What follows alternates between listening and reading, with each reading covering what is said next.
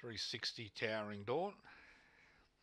So, being locked for the last time as we thank Sky One, Marto and the boys, and also to Simon from Sky Sports Radio. We'll do it all again next Thursday. This is the fourth leg of the quaddy, race eight, as the curtain comes down Goulburn. All set, ready, Racing Jacobite Fancy away well, so too the setter high, the Kitty and pushing through Chattapoochie. Chattapoochie goes to the top now from Ninja Sloy. Up to three high, the Kitty there, followed then by Noisy Lad. The faves are well back. Beanie Allen, Jacobite Fancy, Towering Dawn, but Chattapoochie kicked on the corner.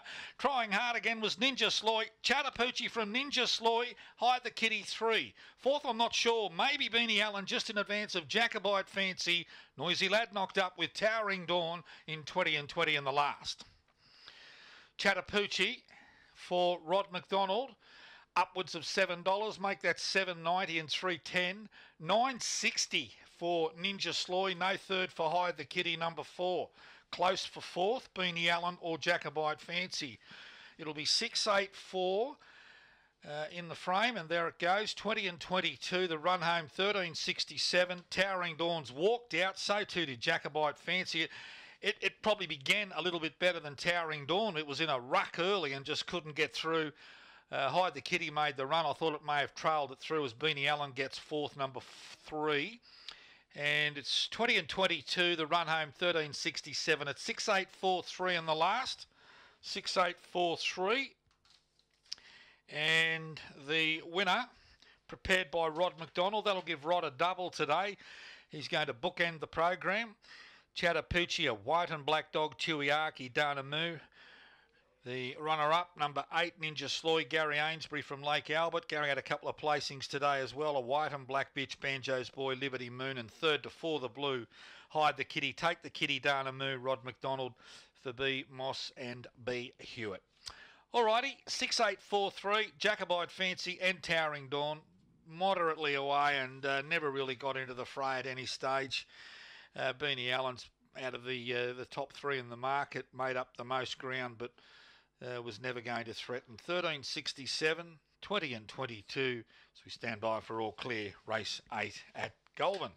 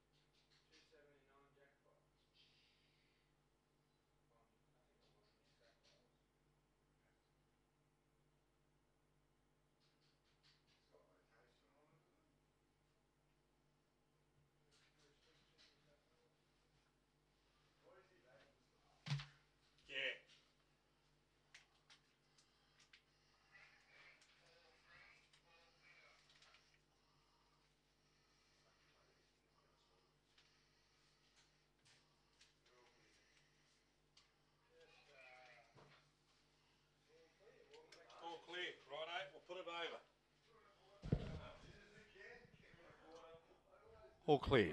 Six, eight, four, three in the last. Six, eight, four, three. Two and a quarter by three quarters. 20 and 22. All clear race eight. Canberra Goulburn. All clear in the last. 655, 6843.